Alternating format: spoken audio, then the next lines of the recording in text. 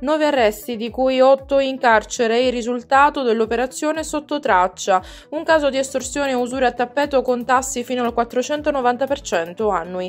In un caso si è arrivati a 130.000 euro, poche le collaborazioni con la polizia da parte delle vittime che spesso vedevano il loro strozzino come un benefattore. Aggressione di un turista al centro storico, oggi riunione del Comitato per l'Ordine e la Sicurezza per far fronte agli episodi di violenza.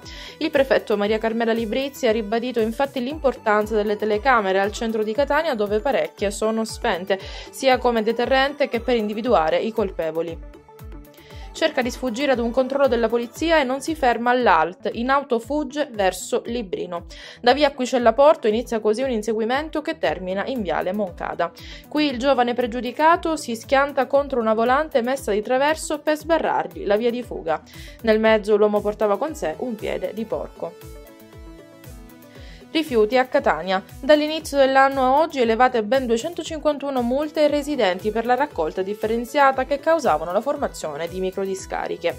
Multati anche 15 autotrasportatori irregolari di rifiuti per un ammontare di 47.300 euro. Tutte le notizie su freepressonline.it, il prossimo notiziario domani alle 20.30.